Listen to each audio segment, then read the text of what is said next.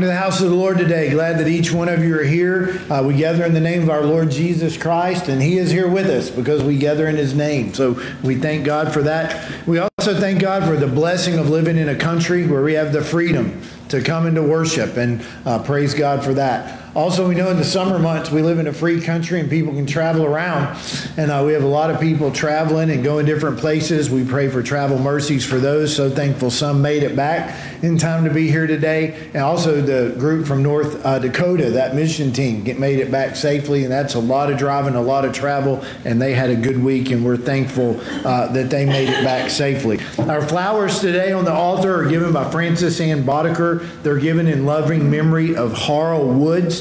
Uh, his birthday is tomorrow. Would have been would have been tomorrow. So uh, we thankful for uh, the beautiful flowers that Francis Ann has provided for us today. Thank you, Lord. Uh, to know that, uh, that for announcements, to know that uh, I. I'm trying to see anybody. We had this past week. We distributed food on Tuesday. The food East Texas Food Bank and uh, it was the few, the proud, and the brave were there to help distribute that, and it was really hot. Uh, and there were over 400 people uh, that came through in cars, and uh, I appreciate our church being involved in helping make that happen. I was even talking to another pastor here in our community, and he was saying, you know, that that's an amazing ministry that your church helped lined up, and that was funny him uh, saying that that way. But that was a blessing, and I appreciate all that did, that did that.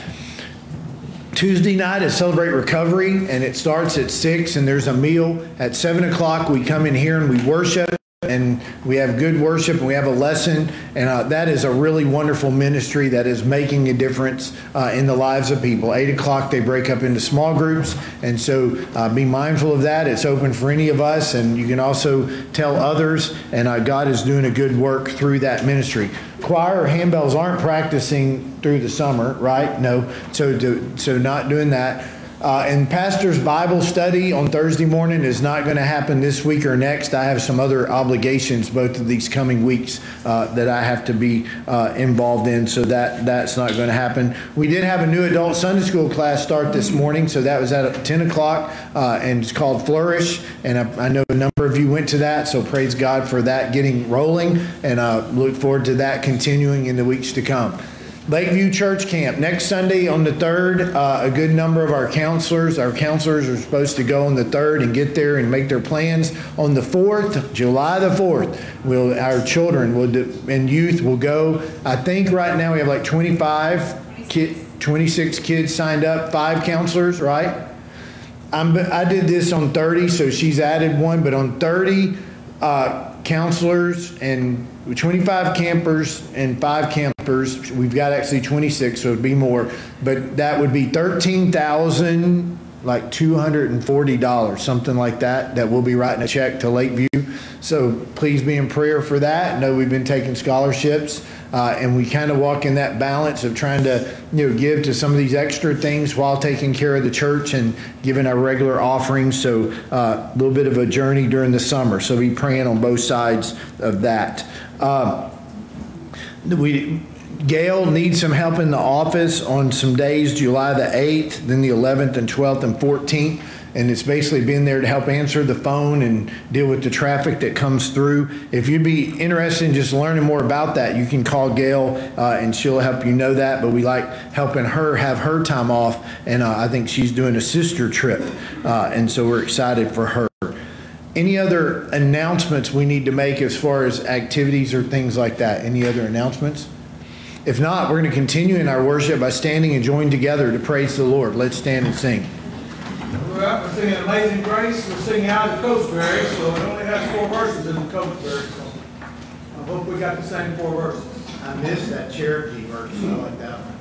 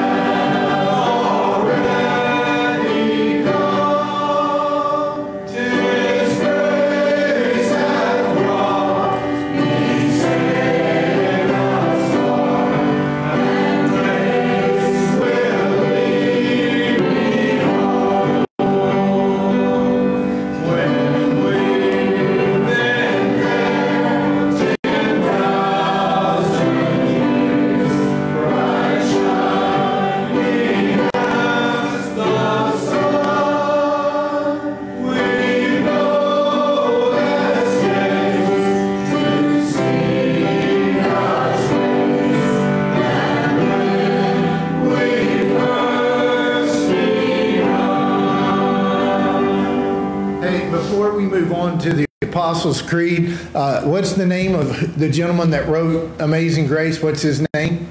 John Newton. John Newton, okay? John Newton was a slave trader uh, and, and then came to Amazing Grace. And you when you hear his story kind of in the verses, it's really a powerful thing too to know his journey. And it invites us into that too, that saved a wretch like me. He always struggled with what he had done in his past, the guilt of that. And so he really leaned into amazing grace. Do you know the name William Wilberforce? Do you know that name? Yeah, because William Wilberforce uh, helped get slavery outlawed in England.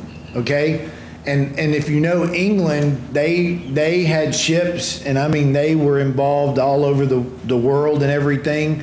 And so William Wilberforce, through his life, continued to fight and take a stand to have slavery banned in England, which if that did, it was going to impact the world. And of course, he's fighting against people who are in the house and all that, who are landowners and who have slaves and very it's very much an economic help to them and yet on moral grounds he's trying to get them to see you know.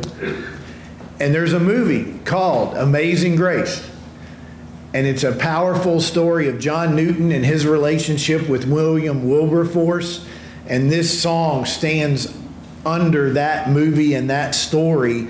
And and john newton's story in this song had great impact in England for, for slavery being banned there and the freedom that it brought. And so this it just to me it's just such a powerful song because there's spiritual ramifications. Every one of us knows we can stand amazing grace how sweet the sound that saved a wretch like me like me. And we can connect to that. But it's awesome when you also understand john newton's story underlying that and how he had to lean into God's grace all his life for the guilt that he felt for what he had been involved in. But then out of that too, and him being saved, he had a great impact on William Wilberforce to keep fighting the fight, keep fighting the fight, keep fighting the fight to see it done. And just how God works, how God works in things is just so amazing. We're talking about being led by the Holy Spirit today. Let's join together in the Apostles' Creed.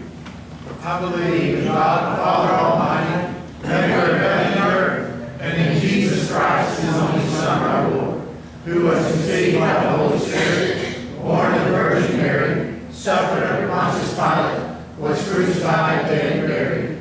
The third day he rose from the dead. He ascended into heaven, and sitteth at the right hand of God the Father Almighty. From thence he shall come to judge the quick and the dead. I believe in the Holy Spirit,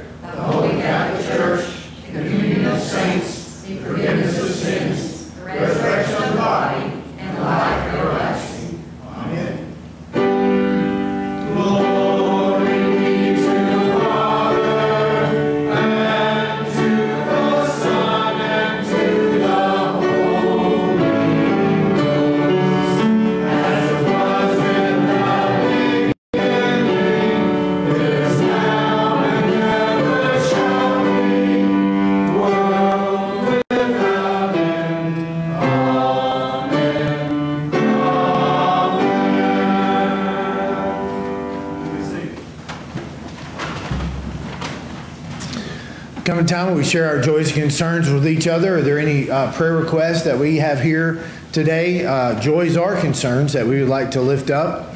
If you're behind me, just kind of or something like that. Uh, um, today we're talking about being led by the Holy Spirit, and Gail had something happen this week that was kind of unique in that, and she put it as a prayer request. Joe Lynn McKnight, Joe Lynn McKnight Gail had gone in the morning and had gotten two big drinks, and it was because it was a special thing, and she wasn't even sure why she got two. I guess you to drink one, drink the other one later. But she had two drinks. She was driving here at the church, and she driving by this house, and she saw a friend of hers, uh, I think from high school, that was out mowing the grass on a ride mower. So Gail pulled in the driveway and decided to share a drink, you know, with her. She had two, so she gave her a drink, and they stood there.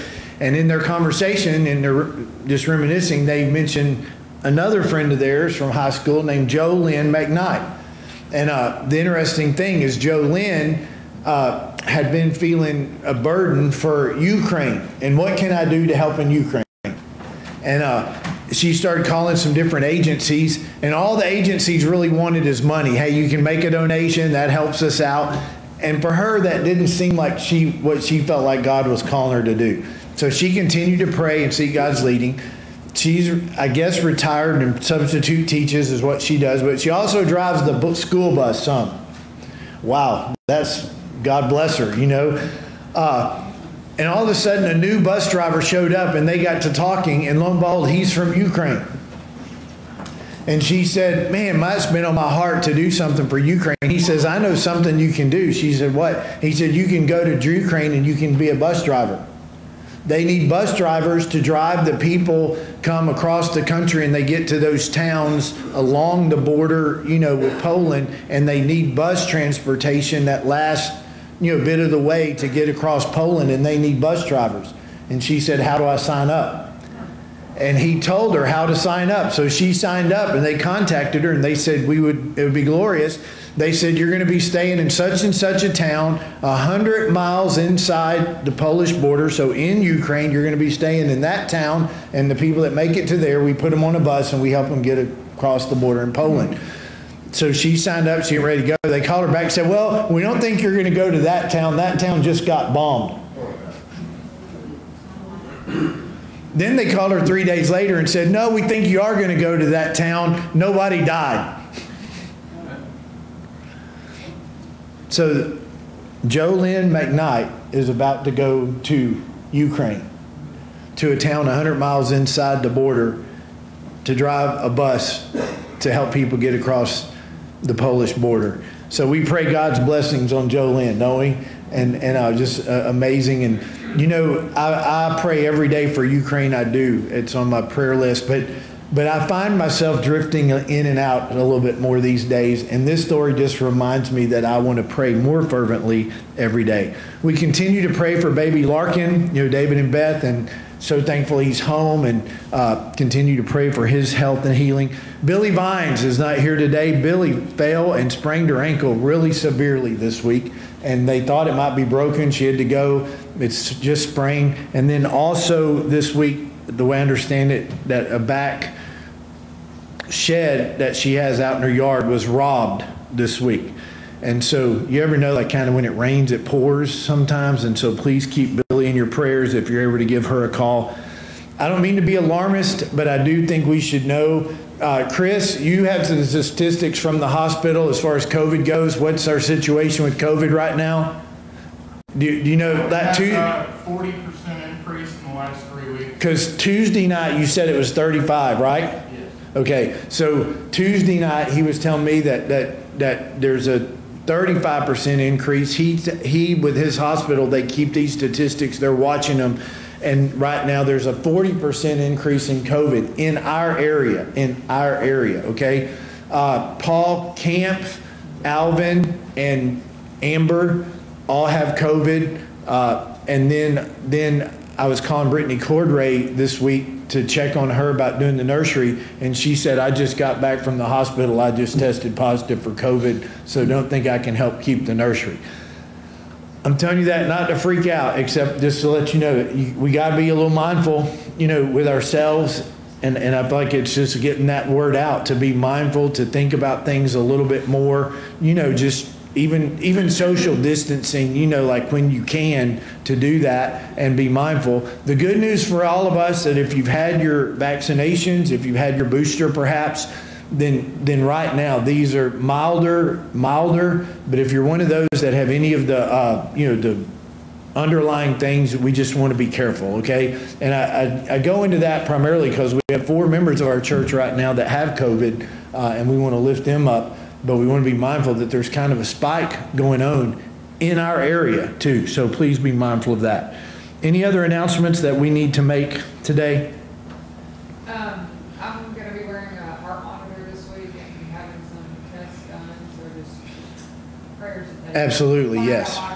Absolutely. That's kind of important. You know, breathing is one of those important things. You know, keep your heart beating and breathing. And uh, we love you and your family too. So we will most definitely be praying for sure. Thank you for letting us know so we can do that.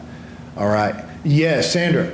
Well, and I just about made it one more year Wednesday, well, and on our sixty-first. 61st. Glory to God. Hey, hey, congratulations. And then the other thing is, well, Ron, congratulations, condolences, Sandra. I'm sorry, but uh, you know, uh, I'm, you know, it really does resound to the glory of God because to be married is not an easy thing, and uh, to stay married for many years uh, is is an awesome, glorious thing. So we do celebrate with you, and we rejoice, and it does get, bring praise to God. It really does. There's no doubt. So we celebrate with you in that. Thank you for letting us know. Let's go to the Lord in prayer today. One more thing. Yes, sir.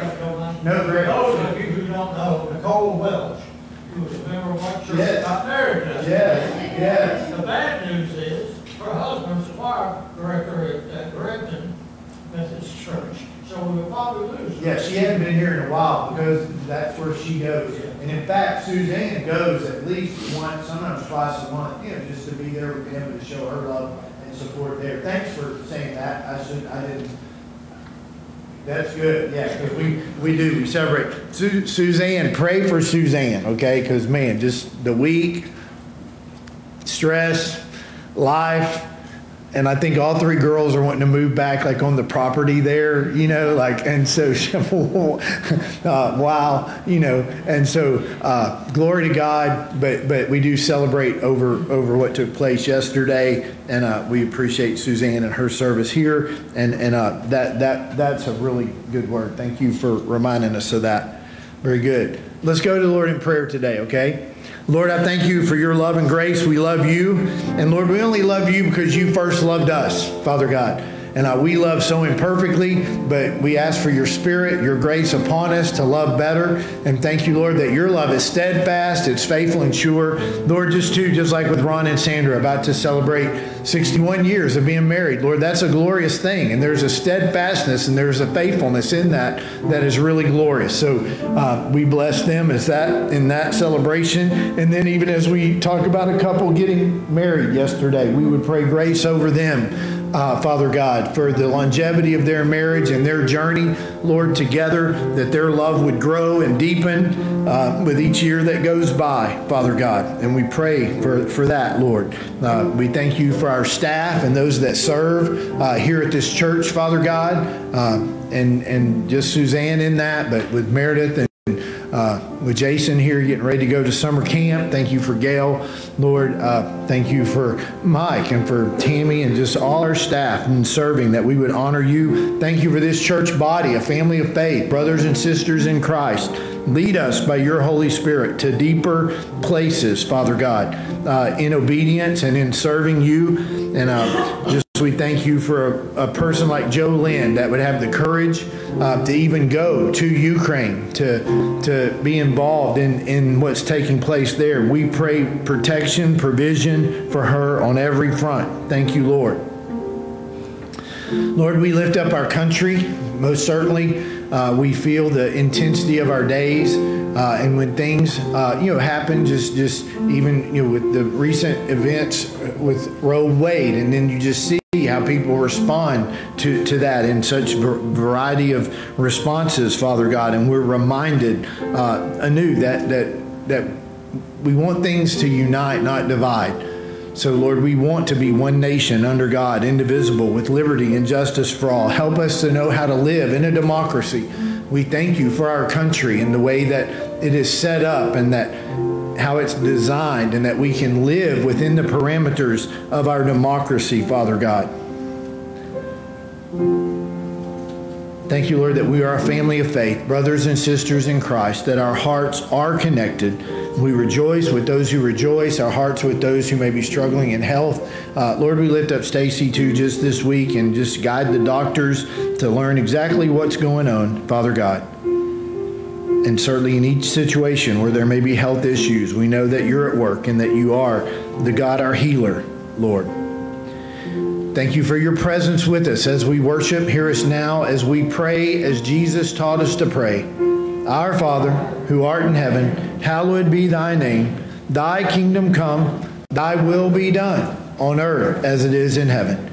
Give us this day our daily bread, and forgive us of our trespasses, as we forgive those who trespass against us. And lead us not into temptation, but deliver us from evil.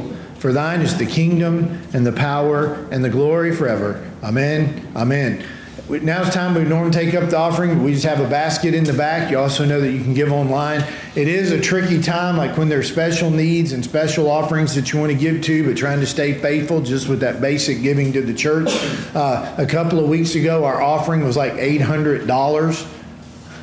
That's not very good. Suzanne said that's the lowest weekly offering she can remember, and she's been here 22 years.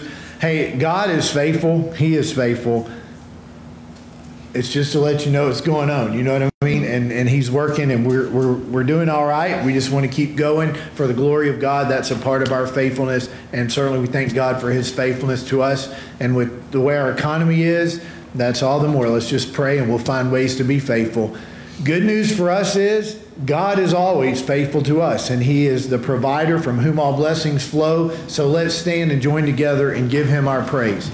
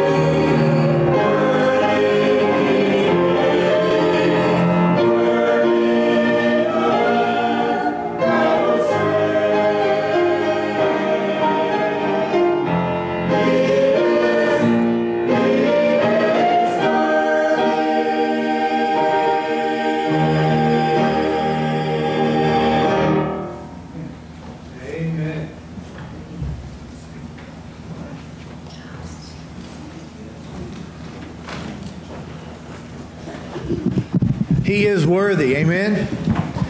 You know, part of that is He's worthy for how we live every day. Uh, I don't know why the Lord's bringing historical things to my mind today, but uh, you know, in John Wesley's story, he ran into the Moravians, right? Some Moravians. Uh, the Moravians were a group. Uh, there was a, a guy named Count Zinzendorf who had wealth, and at first he was going to give away everything, but instead there was great conflict in Europe between a lot of the Christian groups. So he founded a town called Herrnhut where people could come there of all these different types of Christians and be there. They had a prayer thing that went 100 years of constant prayer. But out of that, also, they were sending out missionaries all over the world. And there was one point where two of their young men learned about this group that there were no believers in that group. It was a different, it was a distant land. And those two young men volunteered to go as missionaries to that land. But when they volunteered, what that meant was they packed up all of their belongings in a casket. And that was their suitcase because they were never coming back. They were going to go there. They weren't sure how it was going to be.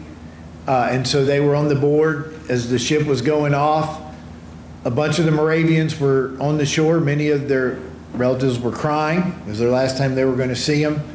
And one of the young men walked to the back of the boat, and as they're finally sailing off, he yelled, May the lamb that was slain receive the reward of his suffering.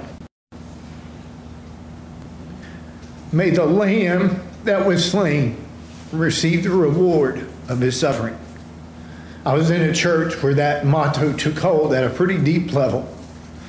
And we saw kids go different places and a lot of powerful things take place. And quite often, when one of the young people would share about what they were going to do, they would say, as they closed, May the lamb that was slain receive the reward of his suffering.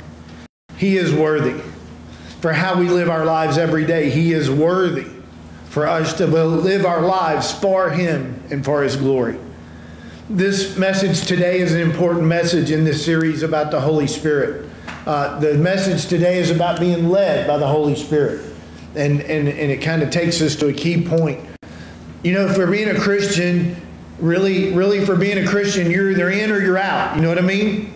You either are or you're not. You, you might be contemplating being one, but that doesn't make you one. Today, when service was over, very exciting as a young person came and said, Hey, I want to be baptized. As they cried, and there were tears in their eyes, and said, I want to be baptized. And so it's exciting to know on our horizon is going to be setting up so we can do an immersion right up here on the platform uh, of this young person as they want to be baptized. God is moving, there's things taking place. It's exciting. He's calling us into that. And so, as a Christian, you either are or you're not. But I want to tell you also today, we talk about being led by the Holy Spirit. As Christians, really you're kind of like either kind of doing your own thing and asking God to bless it, you know, be with me, God, bless it, but I'm doing my own thing, and you're you're just doing what you will and asking God to be with you, or you're learning how to be led by the Holy Spirit. Because we're going to be learning all our lives how to more and more be led by the Holy Spirit. Because being led by the Holy Spirit, there's moments when that's real strong, it's real powerful. There's other times when, you know, it maybe go between, we're not sure, you know, or, or it's just being faithful, living out some of the things.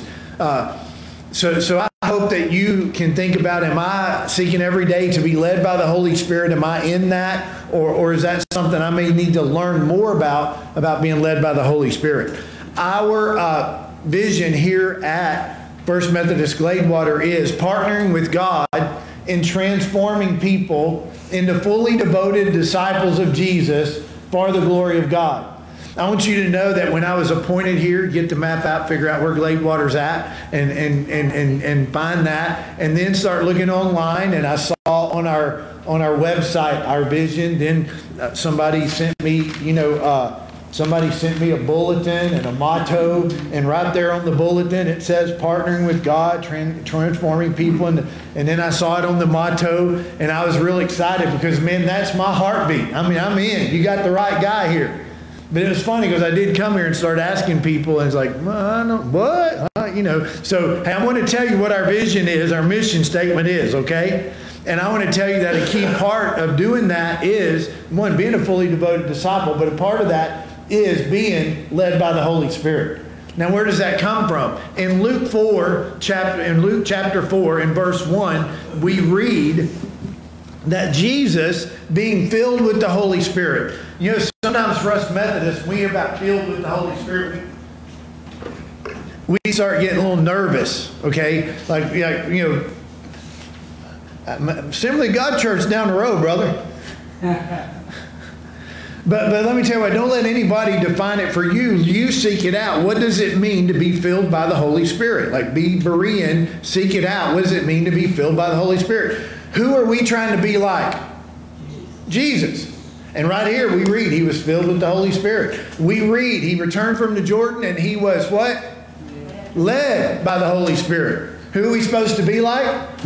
Jesus. Jesus was filled with the Holy Spirit. He was led by the Holy Spirit. We can look in Luke 4 14 a little bit down. It says Jesus returned in the power of the Spirit because we want to live more fully every day in the power of the Holy Spirit. I would tell you in Romans 8 14, it also says, Paul says, For all who are led by the Spirit of God are children of God. And, and I know I want to be a child of the Most High God. So I want to learn how to be led by the Holy Spirit. So for us, if we want to be fully devoted disciples of Jesus, and then we'll be involved in making fully devoted disciples of Jesus, we want to grow in learning to be filled, and especially we're going to talk today about being led by the Holy Spirit and walking in the power of the Holy Spirit. Uh, I want you to know it's really interesting. On Thursday, we were having pastor's Bible study on Thursday. We go over the message and we're talking about this. And one of the things I said, I want you to know I've already started praying that there will be more promptings and leadings uh, within our congregation of the Holy Spirit. Lo and behold, my phone started buzzing in my pocket or on the table. It was on the table, so it started buzzing. And I flipped it over and it was Brandon. And Brandon said, Hey, I was going by McDonald's today, and there was a woman sitting out by McDonald's, and uh, I saw her, and, and, and I, I, I could just tell she was, you know, needed help. So I went over and said, Hey, can I get you something to eat? And She said, No. But he said, I knew that she could, I could tell she needed something to eat. You felt, you said, I felt like God was leading me to go in and get her something to eat. And so he said, so I went in to McDonald's and got her something and took it out. And he said, I just see by the look in her eyes when I gave it to her, you know, that it was the right thing. And he said, I know God led me to do that. About do it about right?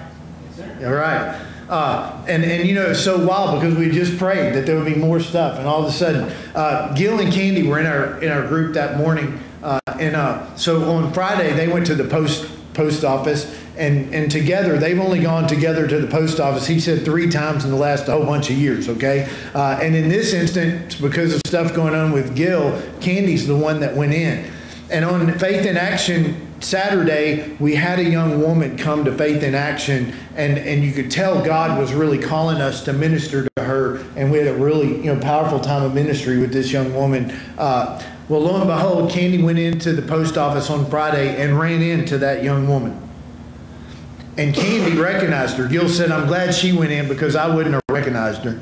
But Candy went in, Candy recognized. They started talking, the young lady started crying, and, and, and, and Candy and this young woman had a God moment right there in the post office. There was some ministry that followed up from that yesterday, and uh, I believe one day you'll get to meet this young woman and her family here at our church. God is working, God is moving. And so I want to tell you, it's an awesome thing to be in that place where you, you, you can sense that God is working God is leading. Those have been the most exciting times of my life, and I just want more. Amen?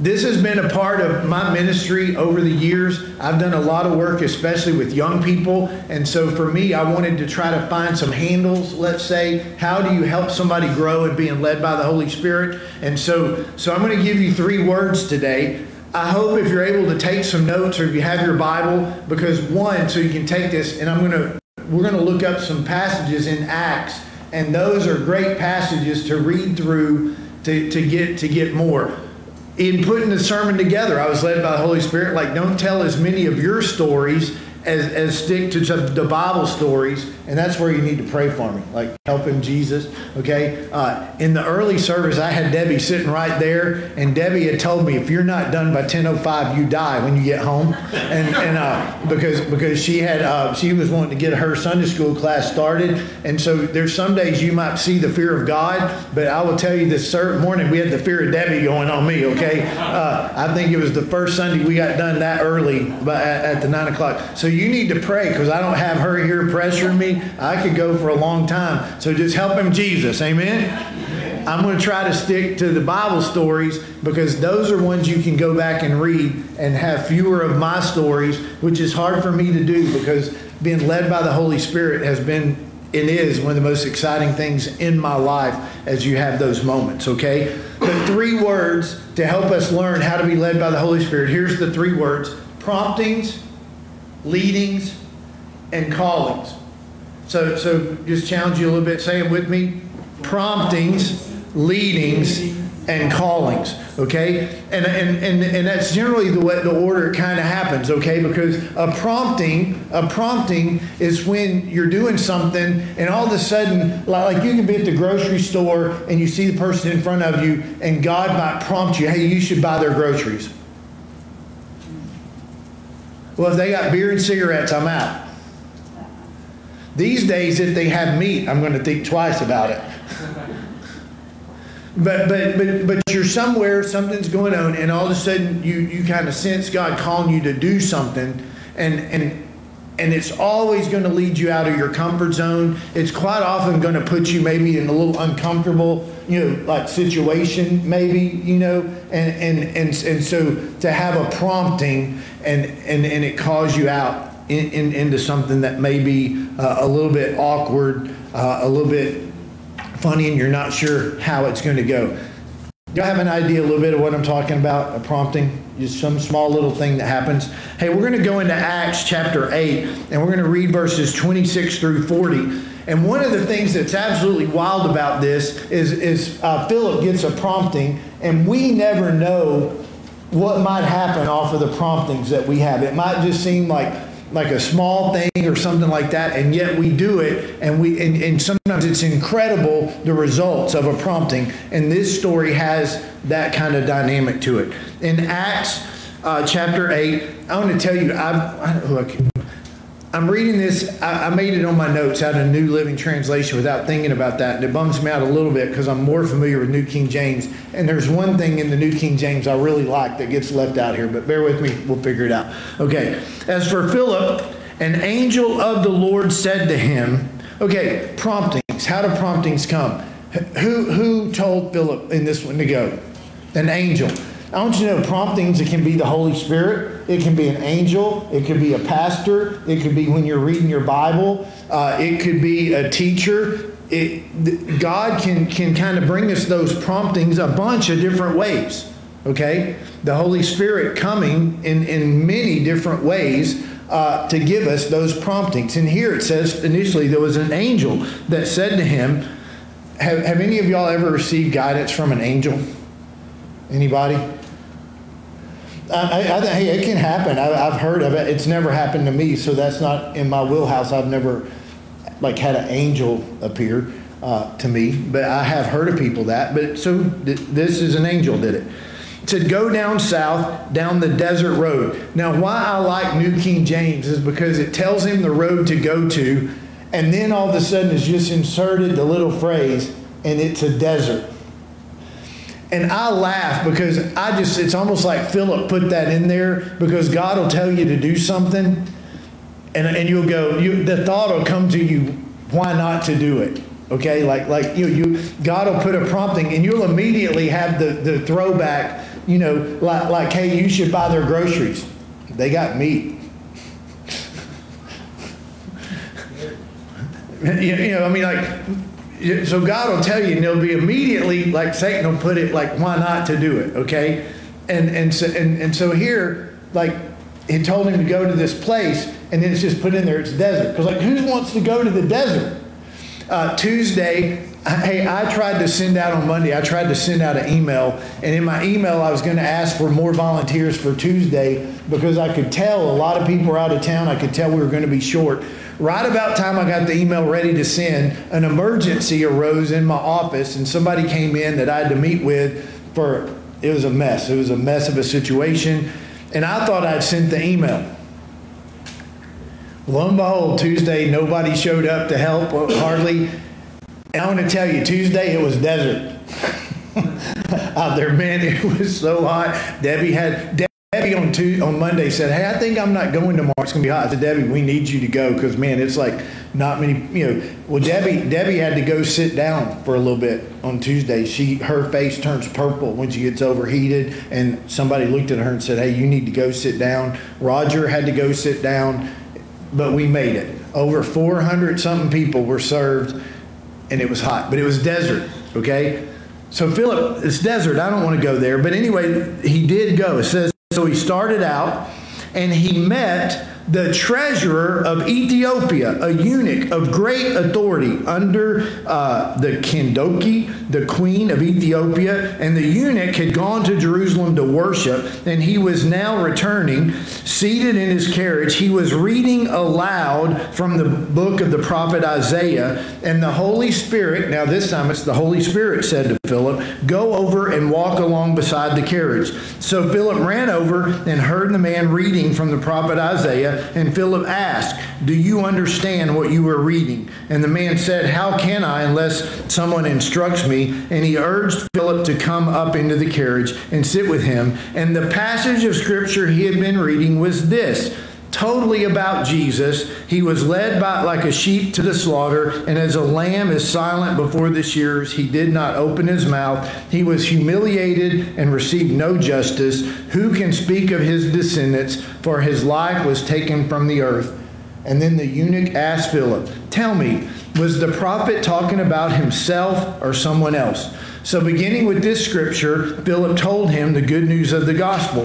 I got to ask you again, where were they at? Desert. So if you don't think the story's weird so far, let's get it weird okay? Because all of a sudden now he teaches him the gospel. All of a sudden the eunuch comes to a point of conviction. And when they came, and, and as they rode along, they came to water. Where are they at? Desert. But all of a sudden, in the moment that the guy comes to conviction to believe in Jesus Christ, all of a sudden there's water, and he says, Why can't I be baptized? My, so he ordered the carriage to stop. They went down to the water, and Philip baptized him. And when they came up out of the water, the Spirit of the Lord snatched Philip away. That had to be something to see. The eunuch never saw him again, and he went on his way rejoicing.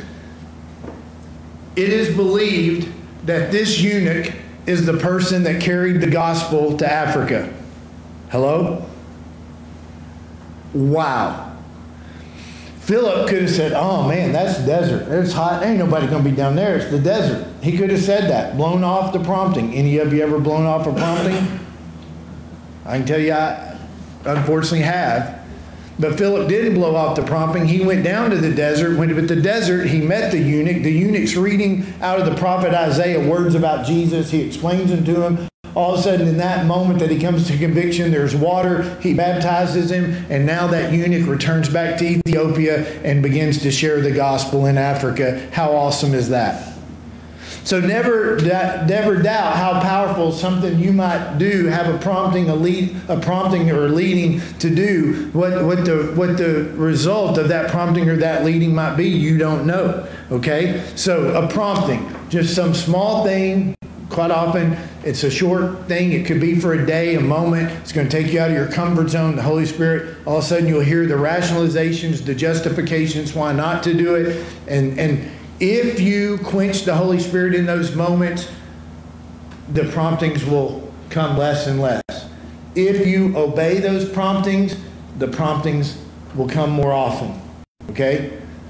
But then our second word, what's our second word? Leadings. Okay? I want you to know that leadings are generally more involved. They're probably going to take more effort to do, they're going to take more time. Okay? Uh, if you're called to go into an Emmaus walk, if you're led to go into Emmaus walk, that's going to take you out of your comfort zone. You're going to start hearing that they take your phone away, that they take your watch away, and you're going to start hearing things. You're going to think, man, I'm not doing that. That's weird. You know, like you have to sleep like you know, with somebody, whether you know them or not. And you just have to surrender to the process like, man, I ain't doing that. Or you'll miss the blessing. If you're called to sponsor somebody to go on a Emmaus walk, to sponsor somebody is a pretty big effort, you know, to do that. There's a lot of responsibility. But if you feel led to sponsor somebody for a Emmaus walk, it's a big deal. To serve on a Emmaus walk could be a big deal. Uh, those are just some ideas of, of leadings.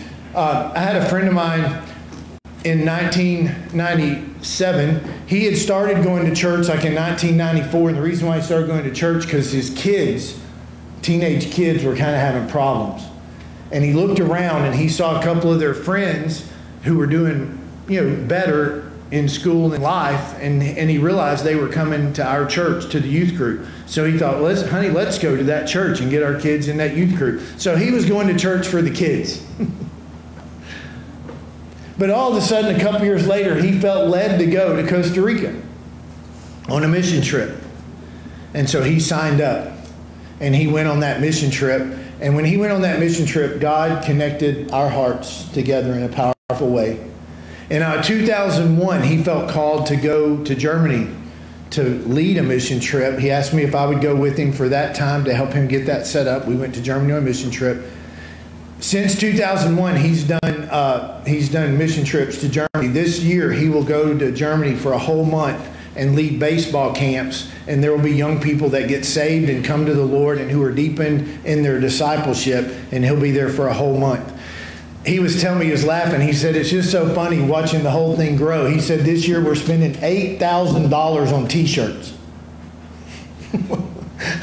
he said, like, "How crazy is that?" But they have teams, and so every you know every camp has like five teams that has ten you know people on each team, fifty to seventy kids at every camp, and they have to have T-shirts because that tells them what teams they're on. As they teach them baseball and play the games, and uh, and and he's been doing that all these years. But it all started with being led to go on a trip to Costa, to Costa Rica. Hey, in Acts 10, in Acts 10, it launches into a story of Cornelius and Peter. And, and that story goes on for a little bit, but it's a story of a leading because God led Cornelius to send some guys down to get this guy named Peter. And so he sends his guys then God appears to Peter and he starts telling Peter like about the Gentiles and that it's okay. And all of a sudden he says to Peter, Hey, some guys are going to knock on your door and I want you to go with them. And about that time there was a knock on the door. Hey, Peter, go with us. Okay. And so he goes with them up to Cornelius. All of Cornelius's household gets saved. Okay. But even bigger than that, Peter learns that the gospel is supposed to be taken to the Gentiles. So in Acts 15, you have the Jerusalem Council, and they're deciding, like, is this kind of a Jewish sect thing, or is this bigger than that? Are we supposed to take to the Gentiles? Paul's arguing that we're supposed to take it to the Gentiles, but he's kind of a newcomer. He wasn't with Jesus. And so everybody really looks to Peter and says, Peter, what do we do? And, he's, and Peter says, Well, I had this thing with Cornelius, and God really revealed to me that we're supposed to take the gospel to the Gentiles. So it was a leading that involved Cornelius, it involved Peter. I got involved in something like that with Guatemala. That's really been an amazing journey, and because God had to orchestrate some things. If you get a chance to read that one, that one's good. But we don't have time for all of that, so we're going to go to Acts 16 and we're going to read verses 6 through 10. And this one is amazing to me. And there's this one raises more questions for me than it answers, but that's a part of how being led by the Holy Spirit is. In Acts 16, 6 through 10, it says, Now when they had gone through Phrygia and the region of Galatia, they were forbidden by the Holy Spirit to preach the word in Asia. How does that happen? I mean, like, I want to know, like, what does that mean? What does that look like? Did the, did the carriage have a flat? I mean, did the wheel fall off? was there one of those barrier things like you see in the movie like they, you, know, you don't see it you walk into it you know that hey we can't we can't go that way so so like i laugh when you're reading the bible i want to learn how to be led by the holy spirit and then you come to this they were forbidden to go like well what does that mean that doesn't help me very much no like how do i know if i'm forbidden or not like how did they know that? But somehow they knew they were forbidden to go. So after that, they had come to Mysia and they tried to go into Bithynia, but the Holy Spirit did not permit them. I want to tell you one of the big challenges of being led by the Holy Spirit is when you start running into challenges. Okay? Because are you running into challenges because God's trying to close the door and he doesn't want you to go? Or is Satan coming against you because he doesn't want you to go? I was fixing to leave to go to Costa Rica, and I walked by a faucet by our back door, and it was bent just a little bit. It was a, you know, it, the faucet came out of the ground and stood there, and it was bent a little bit. And I thought, man, that needs to be straightened up. So I went, and all of a sudden, water starts going like that. That night, a skunk went off under our house and there were kids across the street in this country club swimming pool at 12 o'clock midnight. So I called the police. And I said, I'm never going on another mission trip again. You can skip this. And so, like, is that, what is that? You know what I mean? But so, so this is interesting that these things happen and they're forbidden to go. And, uh, but then it says, so passing by Mysia, they came to Troas.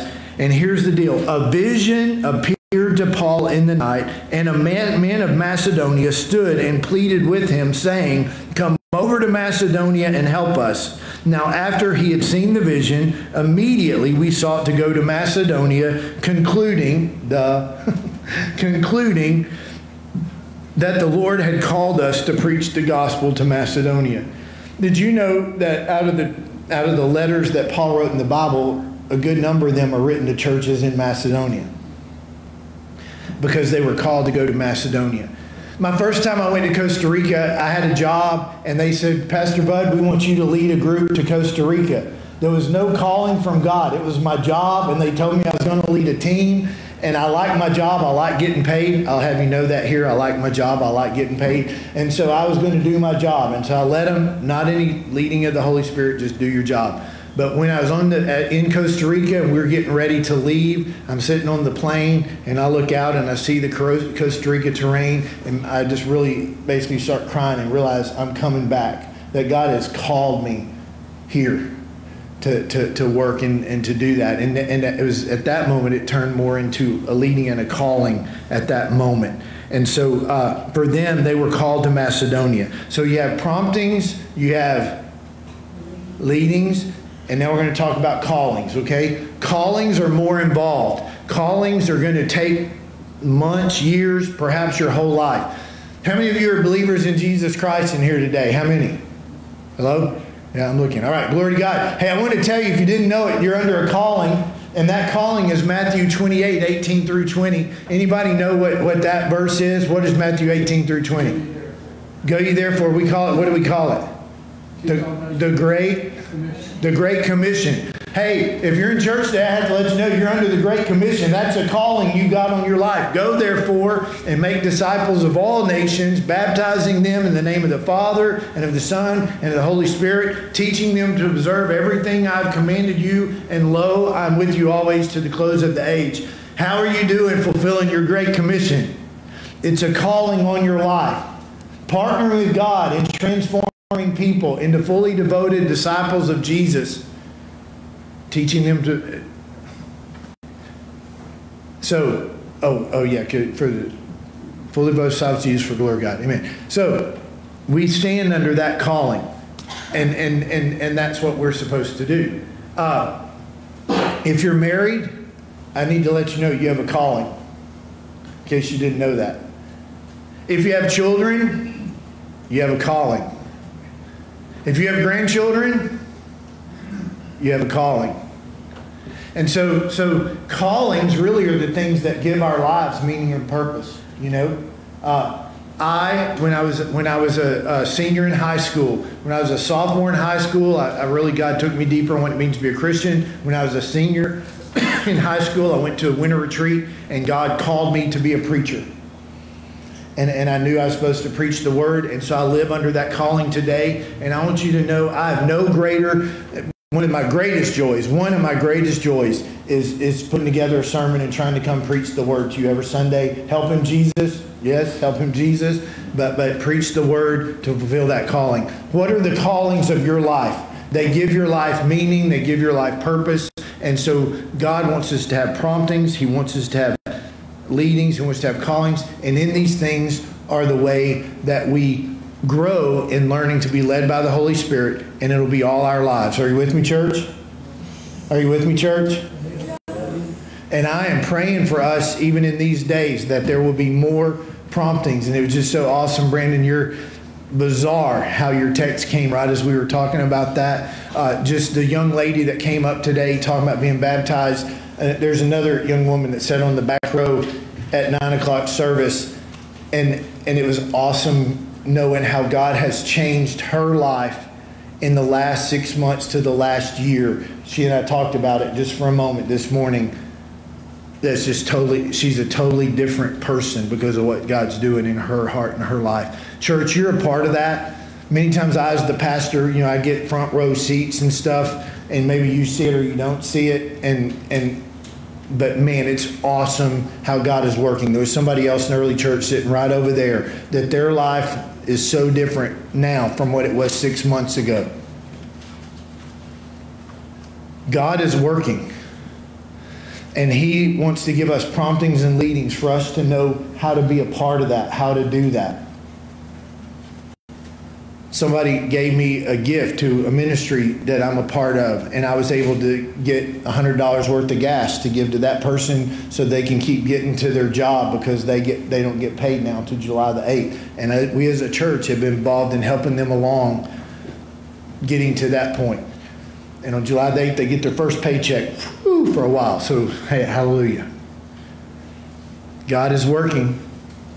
He's calling us into his kingdom purposes. Amen. Amen. So now we're going to stand and close the sing. If you're not a believer in Jesus Christ and you want to be baptized today, you can come and let me know. We can talk about that. If you're not a member of this church and you want to be a member of this church, and help Mike get on the stage with no accidents. Uh, you can be a member. You can uh, be a member if you wanted to rededicate your life to that today. You can do it from where you sit. You can come let me know. Uh, but let's respond to the promptings and leadings of God as we sing, just as I am.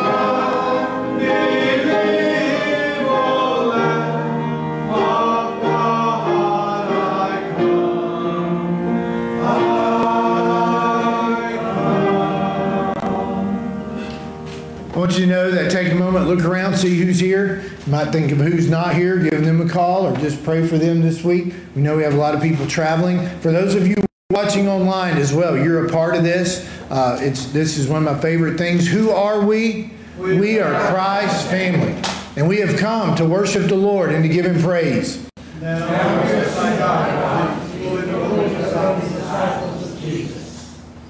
Thank you, Lord God, for the way you love us.